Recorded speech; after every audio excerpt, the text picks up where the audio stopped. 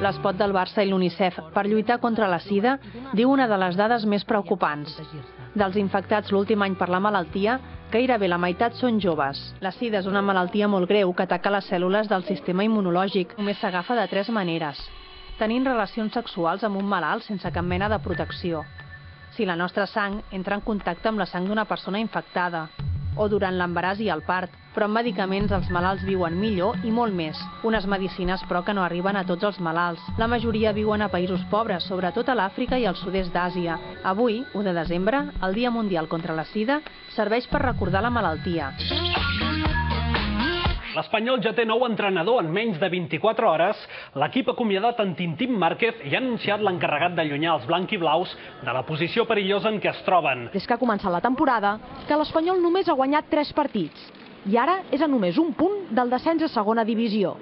Per tot plegat, els responsables de l'equip han decidit canviar d'entrenador. I ja se sap qui serà el substitut de Márquez. És José Manuel Esnal, més conegut per Mané, i segons diuen, és un expert a revifar equips en crisi. Aquesta obra de teatre és el nou projecte d'uns investigadors de la Universitat d'Osaka, al Japó. L'obra se situa en el futur i explica la història d'una parella que conviu amb dos robots. Els científics volien saber si uns robots de veritat serien capaços d'actuar. Va aparèixer dissabte al matí a la platja andalusa de Doñana, Huelva. Es tracta d'un exemplar de balena llobarta. És un cas de mala sort. Va quedar atrapada dins una xarxa de pesca i finalment les ones la van arrossegar fins a aquesta platja. L'equip de rescat va aconseguir tornar la balena al lloc que li pertoca, mar endins. És despistat i una mica tanoca. Amb un mestre com aquest, fer classe ha de ser tota una aventura. I si no, que els ho preguntin als 70 nens i nenes que ahir a la tarda van participar a Lleida en la representació Fem una òpera.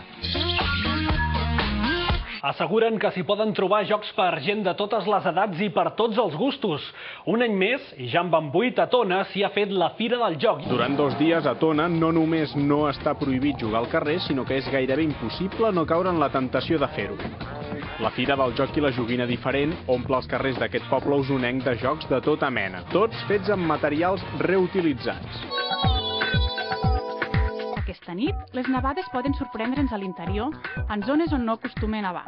Demà estarà núvol a la costa i pot ploure fins i tot amb tempestes. A la Vall d'Aran nevarà i a la resta de Catalunya lluirà el sol. Al País Valencià podrem veure neu a l'interior de Castelló. A la resta tindrem núvol i sol. Més sol com més al sud. A les Balears hi haurà pluges, tempestes i neu a les muntanyes.